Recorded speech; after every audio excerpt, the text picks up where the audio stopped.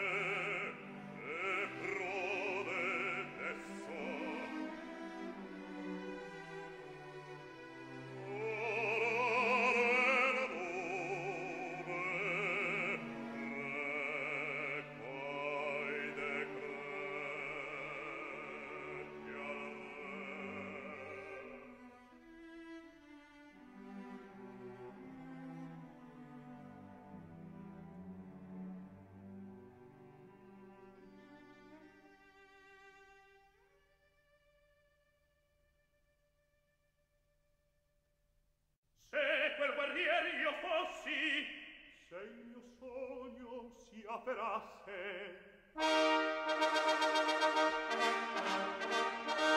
un esercito di prodi la guidato